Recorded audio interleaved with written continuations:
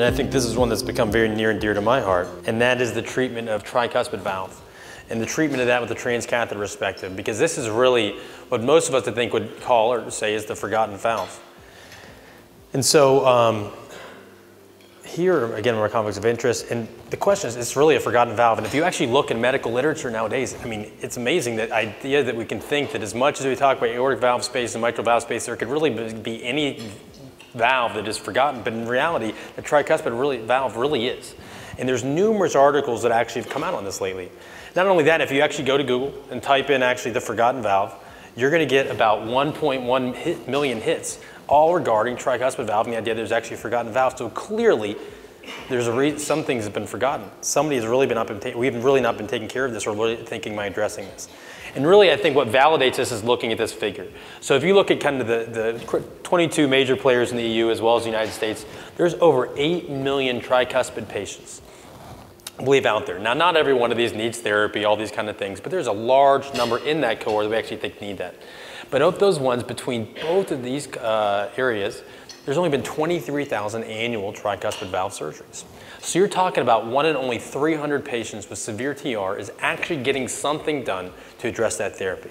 So the question is, why hasn't this valve been treated? Well, I think there's numerous reasons why that. I think Steve Bolling, if some of you may or may not know, has a very beautiful talk on the reason for not, lack of treatment for functional tricuspid valve disease. And I think there are many good reasons, all of which fit around this and saying they're not. The tricuspid valve is important. It greatly impacts our patients and many other reasons. But I think there's a few other things as well. One is we know that surgical outcomes in these cohort of patients are very, very poor. It's actually the highest morbidity and mortality of any patients in the STS registry. So because of that, I think surgeons have been really averse to trying to aggressively treat that. Because of that downstream, we just see these patients aren't even really thought of for treatments or referred for, and we really underappreciate their contribution to symptoms. And then let me remind you also, these symptoms don't only include right heart failure symptoms of typical lower extreme edema. These patients do have shortness of breath and fatigue, as we've seen, and I'll show you some data on this later as well. Some of the other reasons are, though, because of those surgical outcomes, there's really been a lot, people haven't done anything, but there hasn't been any transcatheter options to try to push people to more minimally invasive approach. And otherwise, the other thing I think is they haven't been found. So we haven't been thinking again about treating them because there hasn't been a natural process or path of treating these patients in the past.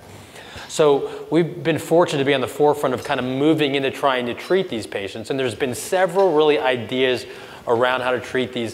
One is a coaptation device developed by Edwards Lifesciences that really is like a, a, hot dog that sits in the middle of the tricuspid valve and tries to help coapt, though I think some of the early data we've seen so far with that is not too encouraging. People have been putting valves in the IVC to do that. We really, again, have not seen the greatest results from that.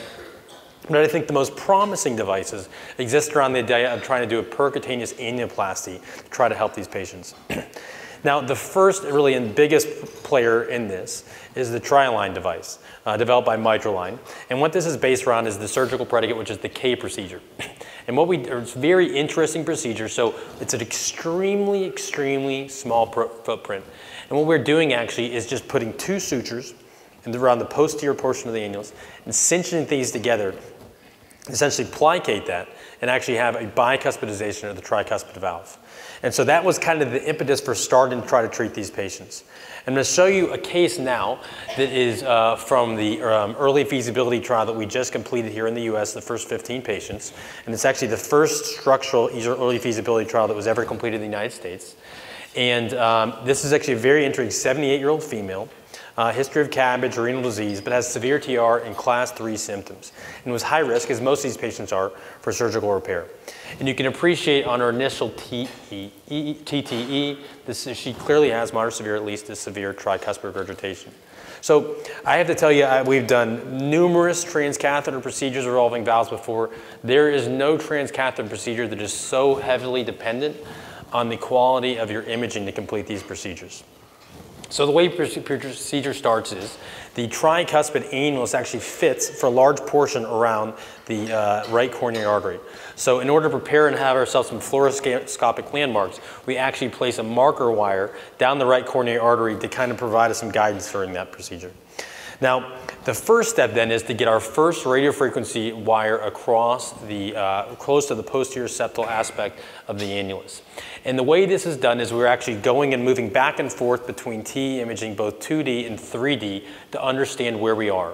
And then the more critical part is when we get to the appropriate location, we have to get this catheter that you can see in the right that's shaped like a candy cane there right up under the leaflets in a right location so that when we go through the annulus, we're not getting what we say is too hingy or too much into the actual leaflet tissue, but deep enough into the native annulus that we're actually having something thick to grab on. But on the other hand, also not too deep, because it's too deep, you actually often run into the radiator wall, or when you try to plicate, that actually you have too much native tissue and it doesn't plicate as effectively. So here you can see our first pass through again the annulus. Now you can see that the next step here is that we actually have to snare that wire out. And I, I didn't tell you before, we actually do this through two 14 French IJ sheaths. The second sheath we go in now with the guiding catheter and actually snare that out.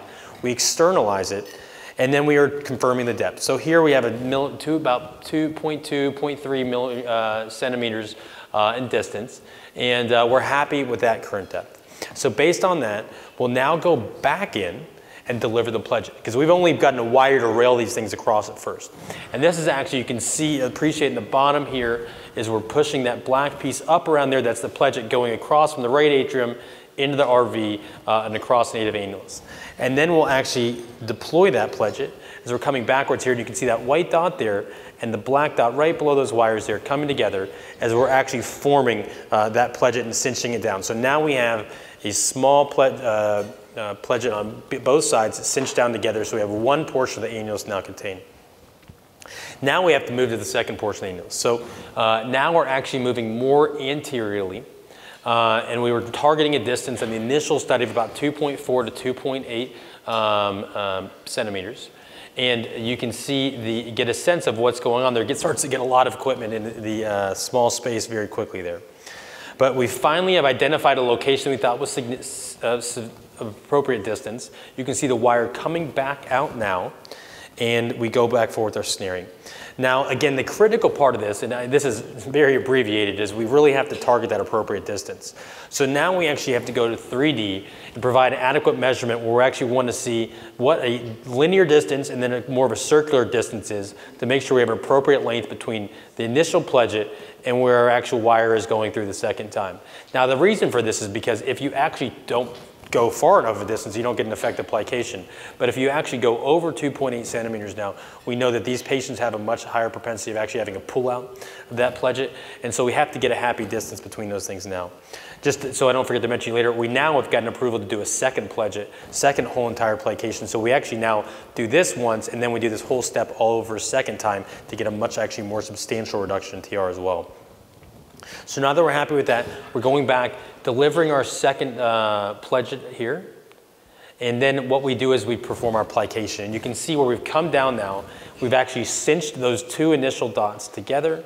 So here you can appreciate, and thanks for pointing out the laser, uh, that you can actually, um, we actually are now plicated. So we have the two initial, uh, each pledge here and here, plicated together. And you can appreciate that plication here uh, and now the cut. And so what we appreciate here is a very substantial reduction in this lady's tricuspid regurgitation uh, by this procedure being done. And here's actually her pre or prior TR, um, prior and post. Now, this is, you know, this obviously is not a complete res resolution of all of our TR, but what we've learned is actually don't need that. Now that we actually have used two pledget system, uh, we actually see these patients have very minimal TR residually afterwards. Now, you know, we've been doing, did the first 15 in the US uh, now. Uh, we've actually now completed our seventh already and we just presented the initial early feasibility data in the U, uh, at TCT. And what we found is actually extremely safe procedure. So uh, implant success has been 15 out of 15, and the only adverse event in the first 15 cases was that one patient needed uh, interprocedural stenting of the right coronary because it was tented. And again, that's because we saw the tricuspid annulus runs right there along uh, the right coronary artery. So there is a small risk of something like that happening. And as we mentioned, we learned that that distance can be too long. So three patients actually had a pull out their initial But of those who didn't, there was really, they, they had a huge, remarkable improvement. So here's our reductions actually. So uh, a significant reduction in tricuspid valve uh, annular diameter. Uh, the annular air, uh, annulus area is reduced. PISA was effectively reduced. quantitative area was reduced, and what we saw that actually was a very uh, close to significant reduction in the TR volume as well. Uh, we saw there was actually no uh, negative impact on RV function, as there was some concern that you kind of shut off this pop-out valve, that you would actually see some of that. We saw nothing like that at all. And we saw actually a statistically significant improvement in forward flow uh, in these patients as well. But I think the most relevant factor to me was actually looking at their improvement in quality of lives. So, you know, the bigger one for these ones is the Minnesota Living with Heart Failure, and we saw actually a 62% improvement uh, in their Minnesota Living with Heart Failure score after that. So I think all these things are signs that there's a lot of hope in treating these patients with transcatheter options, and I think there's a lot of patients out there that need it. It's a matter of identifying them and getting to the place that actually can offer them these kind of therapies. So with that, um, that's all I have to say. I'd be happy to open up if there's any questions on any of these topics at all.